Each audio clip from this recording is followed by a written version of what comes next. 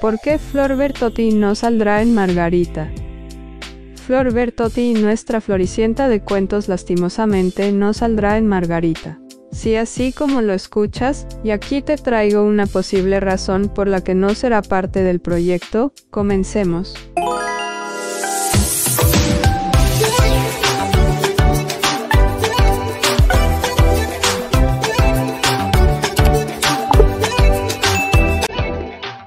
La actriz y cantante de Argentina actualmente se encuentra preparando una gira en Buenos Aires con un total de 12 shows entre septiembre y noviembre de este año. Asimismo, Margarita, aunque no se sabe exactamente la fecha, se tiene programada igual este año y lastimosamente Floricienta no va a ser parte de la historia.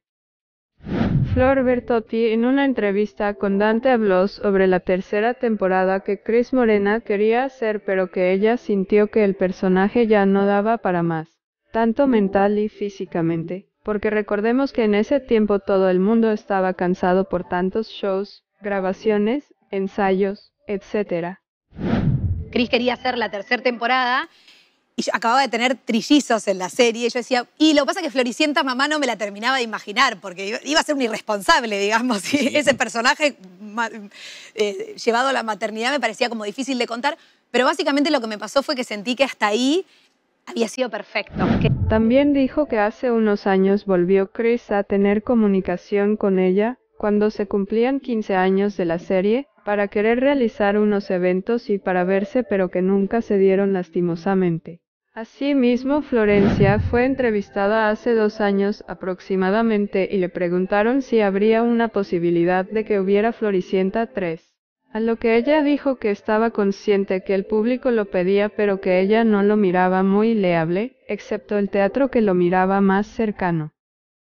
A eso Chris anuncia Margarita para HBO que se tratará de los hijos de Florencia y el conde Máximo. Esto nos da a entender que muy posiblemente la razón por la que decidió seguirla con los hijos fue porque Flor Bertotti se negó a ser parte de esta.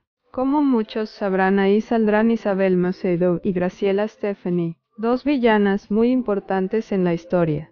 Isa siempre dejó en claro que le encantaría interpretar nuevamente una villana y Chris se lo cumplió. En conclusión, hay que respetar la decisión de Florencia y disfrutar la historia que gracias a Chris tendremos nuevamente. Like si estás tan ansiosa como yo por verla. Hasta aquí el video de hoy. Bye.